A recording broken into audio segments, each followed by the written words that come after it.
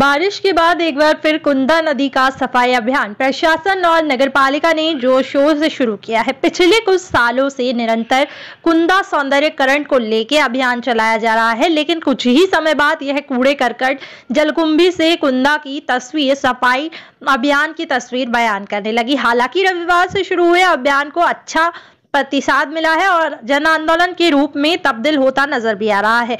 सुबह से ही अफसर कुंदा तट पे पहुँचे हैं और रहवासियों ने भी उत्साह से भाग लिया। सांसद गजेंद्र पटेल, कलेक्टर कुमार पुरुषोत्तम नगर पालिका अध्यक्ष सहित अन्य जनप्रतिनिधि और नगर पालिका अमल आदि हाथों में तगारी पावड़ा लेके नदी में उतरे हैं, श्रमदान किया है। कुंदा नदी में बड़ी मात्रा में बेतरतीब जमा हुई, जलकुंभी की सफ़ाई की गई।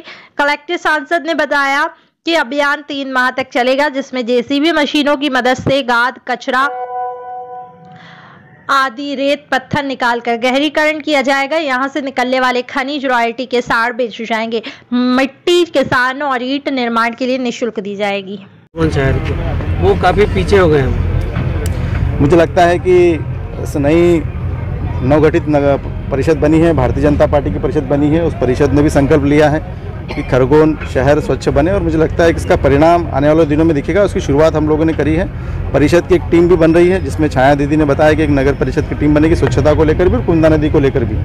तो जिस कारण से हम पीछे रहे हैं, उसमें सबका इन्वॉल्वमेंट हो, समाज का इन्वॉल्वमेंट हो, जनता का इन्वॉल्वमेंट हो, समाज के इन्वॉल्वमेंट के साथ में हम खरगोन शहर स्वच्छ रहे, सबकी इच्छा है। और इसलिए सभी पार्षद और जनता का इन्वॉल्वमेंट होगा तो मुझे लगता है खरगोन शहर वापस अपनी जो स्थिति थी उससे अच्छी बेहतर स्थिति में बनेगा। नर्मदा का जल अभी तक खरगोन वासियों को नहीं मिल पाया। निश्चित तौर पर कहीं ना कहीं दो ढाई साल कोरोना के रहे कोरोना काल कारण सभी शासकीय प्रशासनिक काम रुके थे।